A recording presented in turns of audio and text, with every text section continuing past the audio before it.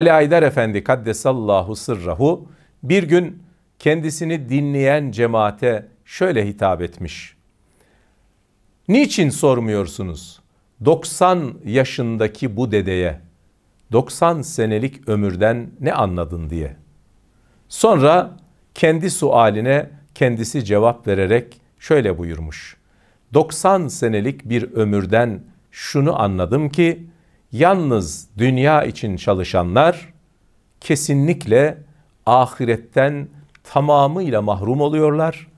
Ama yalnız ahiret için çalışanlar, Allah için koşturanlar dünya nimetlerinden hiçbir şekilde mahrum olmuyorlar buyurmuştu. İşte ata